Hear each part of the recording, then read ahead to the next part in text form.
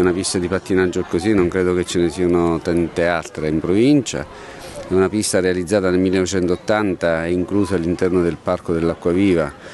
ma che non aveva avuto mai manutenzione e lavori di ripristino. Oggi siamo riusciti con un intervento importante di quasi 200.000 euro, sempre con fondi del PNRR, a sistemarla e a metterla a norma, perché la cosa più importante è stata quella. Una pista circolare con una pista al centro per il pattinaggio artistico, i ragazzi vedete già da questa mattina hanno riempito già tutta l'area sportiva ed è una giornata di, di festa perché un'amministrazione comunale gioisce sia quando i lavori vengono realizzati nel modo corretto, così come sono stati realizzati, ma tanto più quando al lavoro realizzato c'è una partecipazione di ragazzi, di società sportive non solo così importante. Devo ringraziare in primis Sara Falini,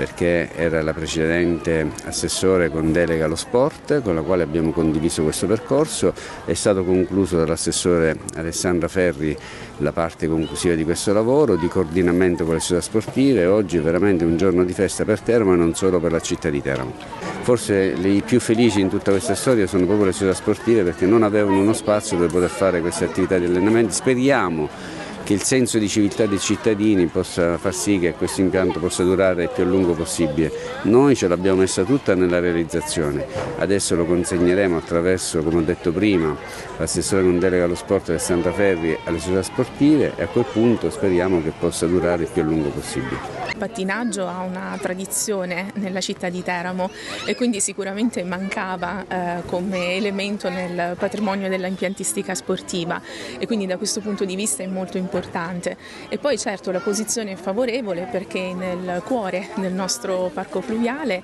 eh, in prossimità di altre strutture sportive, quindi proprio in una visione anche moderna, completa, quanto più possibile di offerta alla pratica sportiva. Eh, le società si sono accordate per il momento per, per l'uso, poi certo in futuro penseremo anche se affidarlo in gestione tramite il bando, eh, adesso lo valuteremo, per il momento c'è stato quasi un accordo spontaneo, quindi quindi per il momento andremo avanti così. Questa mattina sono presenti eh, Donatella Gramenzi per la GSD a Prutino, è presente Giuliana Ridolfi per l'International Skate poi c'è anche Sandro Cipriani con i bambini che sono qui in corsa sui, eh, sui bordi della, sulla parte della, della, pista e direi che la, il pattinaggio è, mm, come dicevo, ha una lunga tradizione, ci sono campioni che vengono anche, anche molto recentemente, abbiamo episodi di campioni campioni campionesse che provengono da Teramo, questo sicuramente dà visibilità alla città che è una cosa molto importante, ma quello che ci importa molto è il coinvolgimento di un grande numero di ragazzi, di giovani